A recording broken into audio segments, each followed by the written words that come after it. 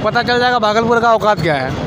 कहना मुश्किल है हम तो कल भी आए तो यहाँ पर एक भटका गिर गए। भागलपुर स्मार्ट सिटी या फिर भागलपुर नगर निगम में भोलानाथ पुल का चर्चा बड़ी ज़ोर शोर से हर चुनाव में होता है। और इस चुनाव में भी इस बार की चुनाव में भी भोलानाथ पुल का चर्चा लोग चौक चौराहे पर करते हैं कि भोलानाथ पुल का अच्छा से मरम्मती हो जाए और जाम की समस्या को दूर किया जा सके। लेकिन नेता लोग वादे करते हैं हमेशा, लेकिन इसको पूरा नहीं कर पाते हैं। वादे करके चले जाते हैं, जीत के चले जाते हैं, कुर्सी पे बैठ जाते हैं, लेकिन जनता की मांगें पूरी नहीं कर पाती है। राहगीरों को इस भोलानाथ पुल के वजह से क्या परेशानी होता है? क्योंकि ऊपर अगर बात करें तो रेल की पटरी है और नीचे से गाड़ियाँ जाती है। थोड़ा सा कंजेस्टेड जगह होने की वजह से लोगों को परेशानी झेलना पड़ता है, लेकिन हर चुनाव में ये चर्चा होती है लेकिन नेता इस वादे को पूरा नहीं कर पाते हैं। पूरे दिन मतलब कहिए कभी कभी तो ऐसा होता है पूरे दिन जाम रहता है। और शाम में जो वर्किंग आवर है जो स्कूल स्कूल टाइम है लोगों का उस टाइम पे तो जाम एकदम नेसेसरी होना है। तो इसका कोई सॉल्यूशन अभी तक निकल नहीं पा रहा है। बहुत सारे लोग आ रहे हैं जा रहे हैं बोल रहे हैं कि हो जाएगा हो जाएगा अभी तक बट मुझे दिख नहीं रहा। आज कोई सॉल्यूशन कवरेज अच्छा ये बताइए, एक नेता जब वादे करके जाते हैं, हर चुनाव में देखते हैं कि वादे करते हैं कि भोलानाथ पुल का फ्लाईओवर बन जाएगा, लेकिन आज तक नहीं बन पाया। क्या इस बार नगर निगम की चुनाव में ऐसा लगता है कुछ हो पाएगा? होप फॉर द बेस्ट हम तो यही सुन रहे हैं, बस वादे ही कर रहे हैं। उम्मीद है कि आप इस बार कुछ अच्छा हो। बाकी देखिए, मेरे कवरेज आपके कवरेज से, या फिर हम जैसे आम लोगों के बोलने से कुछ अच्छा हो जाए तो और क्या हो सकता है। सब, बहुत सारे लोग हैं मतलब इधर रहने वाले सारे लोग, जो कि प्रॉब्लम फेस कर रहे हैं। और काफ़ी टाइम से लंबे टाइम से प्रॉब्लम फेस कर रहे हैं। तो मैं भी उम्मीद करता हूँ कि जल्दी कुछ ना कुछ इसका निराकरण निकाला जाएगा। सबसे ज़्यादा दक्षिणी क्षेत्र में रहने वाले लोग को मार्केट जाने में बाज़ार जाने में तकलीफ़ होती है। मात्र 500 मीटर की दूरी को जाने में कितना टाइम लगता होगा? 500 मीटर होगा मार्केट दक्षिणी क्षेत्र के? पाँच- 500 मीटर की दूरी को तय करने में मिनिमम आधा घंटा। अगर आप आज रविवार है तो अभी आप देख लीजिए कि रोड की स्थिति क्या है। अभी भी अगर आपको बाज़ार जाना हो तो पाँच बीस से पच्चीस मिनट लग जाएगा। लेकिन अगर यह सोमवार से शनिवार तक का समय तय किया जाए तो मिनिमम एक घंटा पौने घंटा आपको जाम में पहले धूप में पसीना बहाना होगा फिर आप अपने जगह पर पहुँच सकते हैं। इसमें आपका हाई ब्लड प्रेशर बढ़ा रहेगा और दुकान में जाने के साथ आप अपने स्टाफ को गलिया रहे हैं। तो रास्ते में कोई मिल गया उसको गाली दे रहे हैं। ये मजमिजाज हो गया है लोगों का। इतना कष्ट में जी रहे हैं लोग यहाँ इसका कोई वर्णन ही। नहीं है। आप लोग को आने जाने में क्या परेशानी होता है? आने जाने में परेशानी ये होता है कि सबसे बड़ी बात तो यहाँ जाम की समस्या है। अभी तो नहीं था जाम, ऐसे घंटों इंतज़ार करना होता है यहाँ पे। और ज़रा सा भी बारिश यदि पड़ जाए तो मतलब पार करना भी इधर से मुश्किल होता है। और सब नेता जो जो भी यहाँ स्थानीय विधायक जो हैं वो हर बार चुनाव मुद्दा भोलानाथ को लेकर लड़ते हैं वो भी कहीं ना कहीं असफल हैं इस कार्य को कराने में। अच्छा अभी नगर निगम का चुनाव कुछ दिन बाद होना है। क्या नगर निगम चुनाव में भी भोलानाथ पुल का चर्चा रहेगा और लोग का मांग रहेगा कि जाम की समस्या को हटा दिया जाए? बिल्कुल रहेगा ये तो मेन समस्या है शहर का भोलानाथ का। और फ्लाईओवर यदि यहाँ एक बन जाती है इस जगह तो और सुविधा होगी लोगों को। फ्लाईओवर बनाना ज़रूरी है? बिल्कुल ज़रूरी है। आपको क्या लगता है नेता नेता अगर अभी वादा करके चल जाएगा जीत जाएगा तो वो बना देंगे? अभी तक तो 95 परसेंट नहीं उम्मीद लगता है, जो कि अभी तक होते आ रहा है। क्योंकि सदन में भी जो है ना गर्मजोशी के साथ लोग मुद्दा नहीं उठा पाते हैं। हो सके वैसा लीडर नहीं मिल पा रहा है भागलपुर को। ये सांसद भी जो हैं, इस मुद्दे पे वो जब से चुनाव जीते हैं तो मतलब उनका कोई भी कार्य नहीं दिख रहा। है इस पर्पस को विधायक भी कोई चर्चा नहीं करते हैं सांसद भी कोई चर्चा नहीं करते हैं। नहीं। यहाँ के जो मेयर हैं वो भी कोई चर्चा नहीं करते। नहीं अभी तक तो नहीं कर रहे। अच्छा आपको कैसा नेता चाहिए भागलपुर में? जो विकास करे ये ऐसी सब समस्या से निजात मिले। हवाई अड्डा बगल में देवघर में चालू हो गया एयरपोर्ट यहाँ भी होना चाहिए जैसे हम लोग को आसानी से कहीं पहुँच सके। अच्छा आप डेली इस रास्ते से जाते हैं? हाँ बिल्कुल। क्या परेशानी का सामना करना पड़ता है आपको? परेशानी का सबसे पहले सामना करना पड़ता है क्या कि बारिश के दिन में जब पानी जमा हो जाता है तो जाने आने में काफ़ी परेशानी होती है। और मुझे ये लगता है कि अ, मैं तो ये कम से कम 26 साल से ही देख रहा हूँ।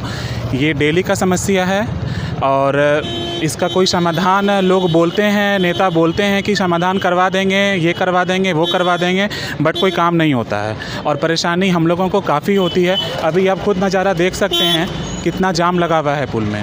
भागलपुर के दक्षिणी क्षेत्र का ये सबसे बड़ा जो है समस्या है। जैसे हल्की सी भी बारिश हो शहर में, कहीं भी यहाँ बाढ़ आ जाता है और उसके बीच से गुज, गुजरना पड़ता है। हर बार बड़े बड़े नेता, मंत्री, मुख्यमंत्री महोदय आते हैं और हम लोगों को आश्वासन देते हैं कि इस बार फ्लाईओवर बनेगा, लेकिन कभी भी इसका फ्लाईओवर नहीं बनता है। नगर निगम पानी निकालने के लिए भी एक मशीन लगा के रखी हुई है, जो तभी आती है जब बरसात का मौसम होता है। बाकी समय वो चलती ही नहीं है। उसमें भी मशीन ऐसा है कि एक बार पानी घींचेगा फिर फेंकेगा तब तक में फिर से भर जाता है। कई लोग इसमें गिर कर दुर्घटनाग्रस्त हो चुके हैं लेकिन शासन प्रशासन का कोई ध्यान नहीं है। भागलपुर स्मार्ट सिटी बन चुका है लेकिन कहाँ है इसकी स्मार्ट नेट कहीं नहीं दिख रही। है नाम का स्मार्ट सिटी दिखता है। बस बस नाम का स्मार्ट सिटी स्मार्ट सिटी के नाम पर आपको कुछ बिजली के बल्ब झालर दिख जाएँगे और कुछ नहीं दिखने वाला है। बोर्ड दिख जाएँगे। अच्छा नगर निगम का अभी कुछ देर बाद चुनाव होगा। क्या नगर निगम में भोलानाथ पुल पुल का फ्लाईओवर का चर्चा रहेगा?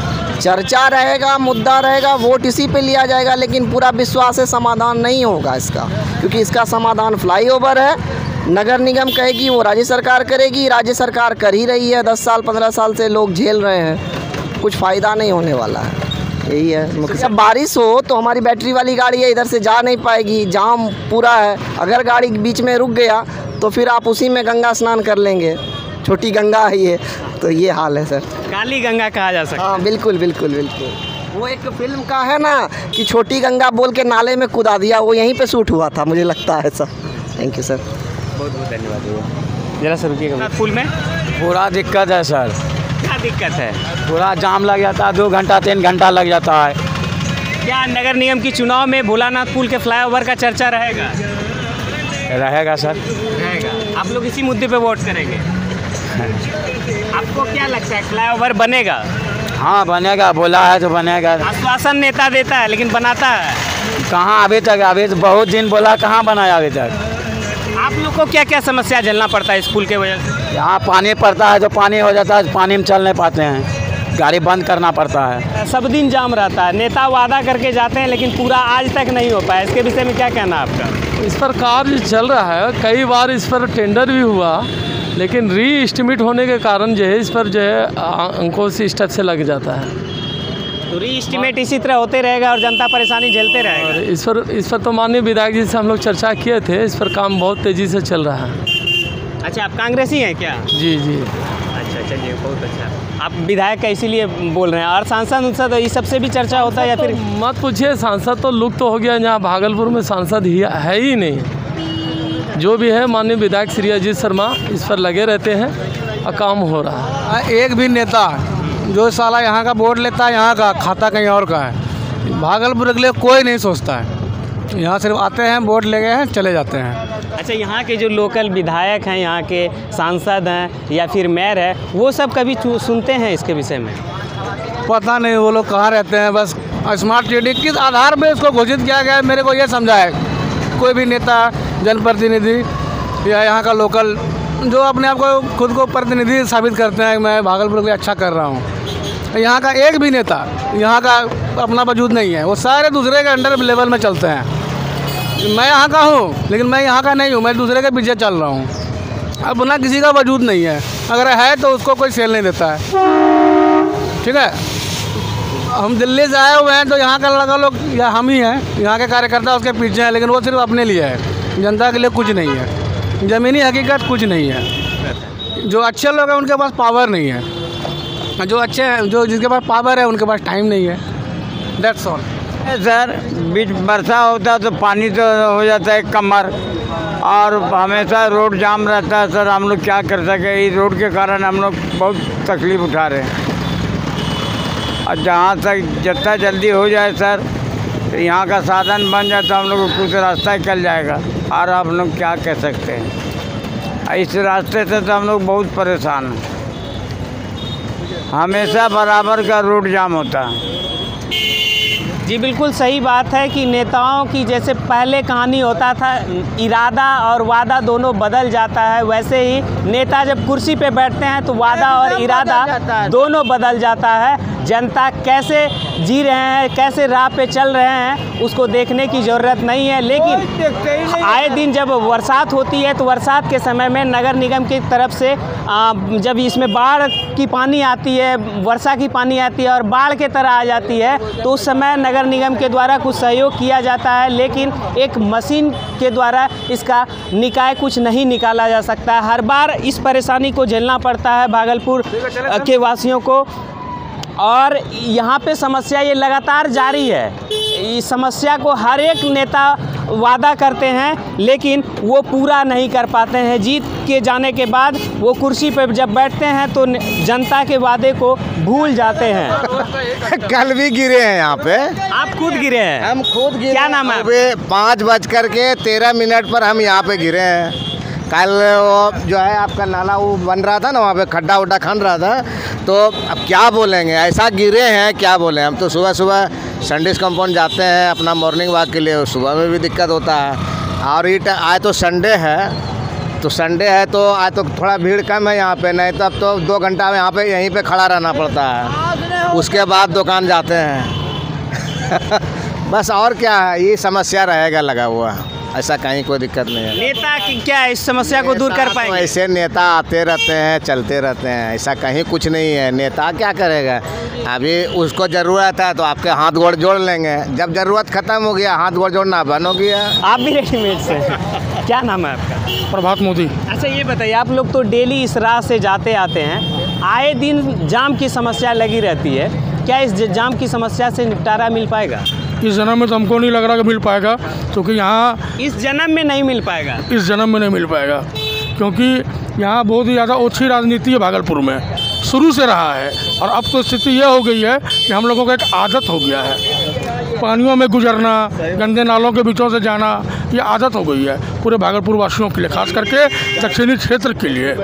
और इसका समाधान हमको नहीं दिख रहा है कि यहाँ के बड़े बड़े जो राजनेता हैं चाहे वो अजीत शर्मा हो या शाहनवाज हुसैन शाहनवाज हुसैन हो या आपका अश्वनी चौबे हो इतने बड़े बड़े नेता जो कि केंद्र में अच्छा पकड़ है इनका उसके बावजूद भी ये छोटे जैसे पुल को नहीं बनवा पा रहे हैं लोग। इनके पीछे बहुत बड़ी राजनीति है। इन लोगों का आपसी मतभेद है। ये चाहते हैं कि अगर हम बनवाएँगे तो उनका उनका श्रेय होगा वो बनवाएँगे तो इनका श्रेय होगा। इस चक्कर में ये नुकसान हम आम जनता को हो रहा है। अच्छा इस बार नगर निगम के चुनाव में क्या ये चर्चा चलेगा? नगर निगम के चुनाव से क्या लेना देना है इन लोगों को? इन लोगों को कुछ नहीं समाज सेवा करना है बड़ा बड़ा होर्डिंग लगाना है प्रचार करना है लोगों के दिलों में दिमाग में बैठ जाना है। उसके बाद ऑटोमेटिक इन लोगों को कहीं ना कहीं तो वोट देना ही है। अगर वोट वो उनको नहीं देंगे तो नाले में देना होगा। इससे अच्छा कि वोट उनको मिल जाए। और हम लोग उनको वोट देंगे। वोट से कोई लेना देना है नहीं। वोट मिलेगा फिर वही कहानी हो जाएगा। होना जाना कुछ नहीं है भाई भोलानाथ पुल का। ये जिस हाल में था उस हाल में आने वाले पच्चीस वर्षों तक रहेगा। अच्छा ऐसा अगर कोई नेता वादा करता है कि हम अगर जीत के जाएँगे तो इसको पूरा कर देंगे फ्लाईओवर बना देंगे क्या वो सही साबित होगा या झूठ साबित होगा? वो अगर लिखित में देने के लिए तैयार हो जाएँ उनके चरणों को धो करके पीने के लिए दक्षिणी क्षेत्र के हर लोग तैयार हैं। दक्षिणी क्षेत्र के हर लोग चरण को धो के पीने लगेंगे अगर ऐसा काम कर देंगे तो। ऐसा हम अपने मुँह से बोल रहे हैं। हम नहीं यहाँ कई लोगों के मुँह से हम बुलवा देंगे। अगर ये भोलानाथ पुल का निराकरण होता है तो उनके चरण को धो करके पिया जाएगा। क्या सुपरिचय है आपका? प्रभात मोदी रेडीमेड गारमेंट्स का हमारा काम है। बस अपना घर है यही रास्ता है हमारा। इसी के द्वारा हमें के जाना है। नाली दिन भर देखते रहते हैं। अभी हल्का सा बारिश होगा घुटने भर पानी जमा होगा लोगों का आवागमन ख़त्म होगा। एंबुलेंस है कुछ भी है सबको प्रॉब्लम है। प्रॉब्लम एक लोगों को नहीं सबों को है। अच्छा कोई दूसरा रास्ता होगा ना इसके विकल्प वैकल्पिक? इसके विकल्पिक वैकल्पिक रास्ता में उल्टा पुल है जो कि हमेशा जाम मिलेगा आपको। अगर आपको स्टेशन जाना है तो 20 मिनट का समय चाहिए। यहाँ पर से कम से कम आधा घंटा लग जाएगा आपको स्टेशन चौक पर पहुँचने में। और अगर कोई बहुत ज़्यादा इमरजेंसी है हॉस्पिटल जाना हो मायागंज या फिर बरारी तो आपको कम से कम तीन घंटे का समय चाहिए वहाँ तक पहुँचने के लिए। जब तक मैं यहाँ जो रोगी आधे घंटे में मरने वाला वो तो मर जाएगा रास्ते में ही। जाम की समस्या से तो राहत जब तक इस पर जो है वो क्या कहते हैं फ्लाईओवर नहीं बनेगा तब तक तो जाम की फ्लाईओवर की तो चर्चा आज पाँच साल दस साल से हो रहा है। क्या आज तक नहीं बन पाया है? ये तो अब यहाँ के प्रशासनिक लोगों से इसके बारे में सवाल कीजिए। प्रशासन थोड़ी सह- सहयोग करेगा इसमें प्रशासन तो सही नेता सहयोग करेगा नेता बनवाएगा आप जिसको वोट देते हैं वो बनवाएँगे। जनप्रतिनिधि। क्या वो जनप्रतिनिधि लगता है? इस नगर निगम के चुनाव में अब की बार वादा करेंगे और बनवा पाएँगे। अब देखिए वादा तो सभी लोग कर रहे हैं लेकिन बन कहाँ रहा है? बन तो नहीं रहा है। किसी भी समय जाम हो जाता है। अच्छा आप लोग को मार्केट जाने में कितना टाइम लगता है? अगर बाइक से निकलते हैं जाम लगी है तो? मार्केट जाने में यदि जाम लगा हुआ है तो कभी 45 मिनट कभी एक घंटा कभी घंटा भी लग जाता है अंदर जाने में। 45 यानी मिनट। मात्र 500 मीटर की दूरी तय करने में एक घंटा तक का टाइम लग जाता है। और ज़्यादातर ऐसा ही होता है जो कि अगर फ्लाईओवर बन जाए तो मात्र पाँच मिनट में आप मार्केट जा सकते हैं। आराम से।